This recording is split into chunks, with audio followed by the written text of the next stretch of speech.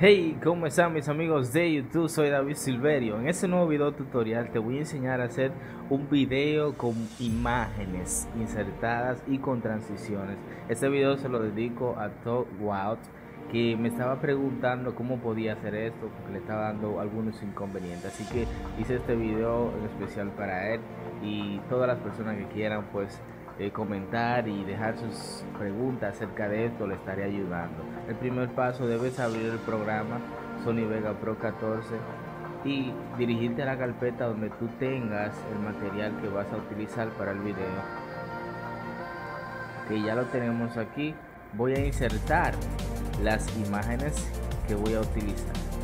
Son estas cinco para demostrarte cómo hacer esto. Como verán, hay unos bordes negros que no queremos que salga la imagen. Para ello, simple, solo tienes que darle aquí en esta parte.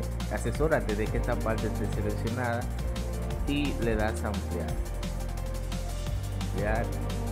Bien, esta parte se selecciona para que la imagen no pierda su forma.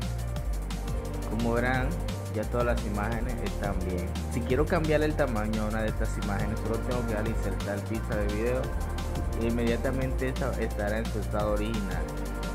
Así que la muevo bien ahí está en su estado original. Bien. Ahora cómo insertamos algún efecto en esto esto es simple. Bien esto es simple. Eh, las transiciones nos vamos a transiciones. Y te voy a recomendar que utilice efectos de cruce. Voy a utilizar esta aquí y algo bien importante es que las transiciones tú las puedes eh, diseñar para tu gusto. O sea, mira, yo voy a ampliar esa transición para que la imagen entre un poquito más lenta y será así.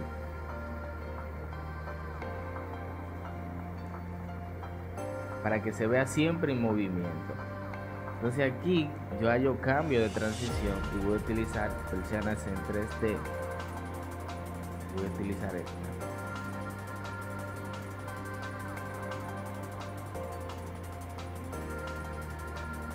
Bien te recomiendo que coloques un fondo blanco debajo para que tu video se vea más nítido.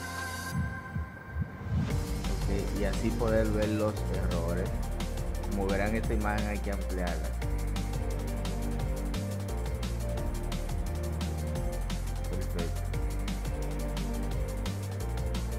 ahora cómo podemos entonces e introducir un texto a este video que estamos haciendo de imágenes es simple. Nos vamos entonces a generadores medios y utilizamos un texto inanimado. Yo utilizo los textos inanimados debido a que yo puedo transformarlo como quiera. Y pondré aquí Dios es real. Cambio el estilo de letra porque esta no me gusta. Y utilizaré esta que está pondré para que inicie en el principio.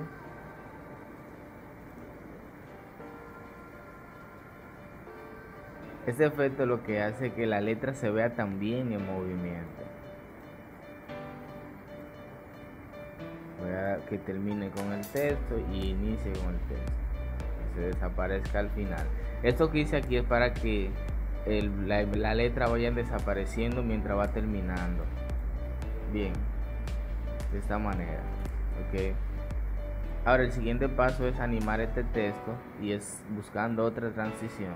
Y voy a utilizar en este caso efecto de cruce también para que la letra entre pero de forma rápida. Así. Ya verán cómo va a quedar.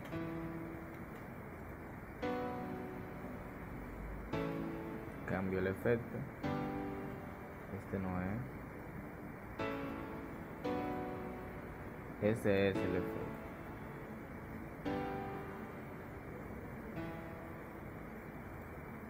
Ahora voy a insertar otra transición acá y me voy entonces a barrido lineal. Voy a utilizar empujar. Me, gusta utilizar esta, esta transición. Y voy a subirla y lo doy a los lados. ¿Qué sucede? Si estas imágenes están muy largas o duran demasiado, simplemente tiene que darle a la S e inmediatamente puedes cortar lo que no quieras. Y para eliminarlo solo presiona clic, dale eliminar o presiona control X e inmediatamente se eliminará la parte que no quieres. Te recomiendo que utilices la S porque corta con precisión. Si no quieres que dure demasiado tu video. De igual manera con tu fondo blanco.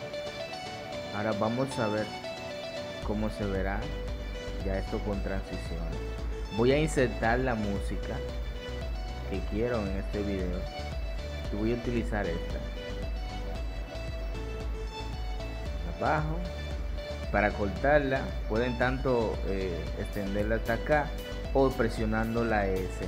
Voy a disminuir el audio para cuando entre por esta parte se vaya extinguiendo. Como esto, este blanco que ven aquí es un vacío, no lo quiero, lo voy a eliminar para que la música inicie inmediatamente.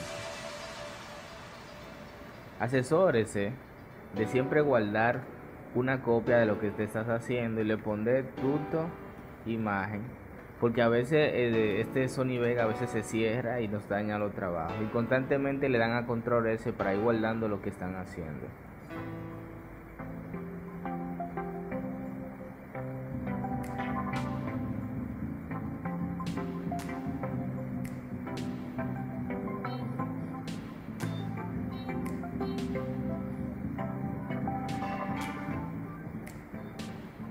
Ahora, ¿cómo podemos animar una imagen de esta ya en 3D? Es bien sencillo. Mira, si tú quieres transformar cualquier imagen, debes sacarla de donde está. Por ejemplo, yo voy a mover esta, elimino esta pista y voy a introducir una nueva. Cada efecto nuevo que quieras hacer, tienes que sacarla de donde está la imagen. Porque cuando haces un efecto, una, una pista de esta, toda la pista tomará el efecto. Por tanto, las demás imágenes también estarán siendo dañada con este efecto. Te recomiendo que inserte una nueva pista y ponga tu imagen que quiere transformar ahí. Esta imagen la voy a ampliar porque tiene no, no, no se ha puesto con la pantalla completa. Bien, ahora yo quiero que esta imagen se vea de forma 3D. ¿Qué hago? Voy acá en alfa de origen y busco la pista de edición. ¿Qué quiero hacer yo con esta imagen? Quiero darle un efecto más profesional. Esta pista aquí donde se verán los efectos que vas a poner. Voy entonces a moverla. Voy a eliminar este. Los efectos tú lo puedes eliminar. Porque quiero darle este de zoom. Bien, ahora lo voy a enseñar cómo queda.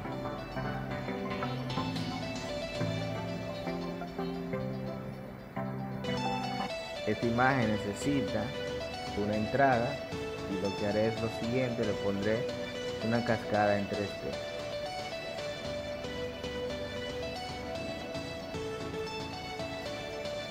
recuerden puede tanto transformar el efecto como dañarlo. Es mejor que eh, tú seas el que edite tu propio efecto para que se vea más profesional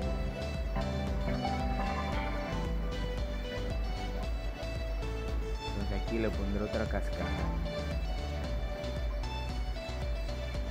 Y para que termine entonces le ponemos un efecto de cruz al final.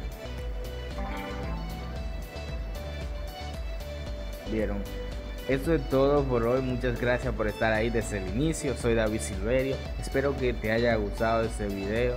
No olvides suscribirte a mi canal y nos vemos en un próximo video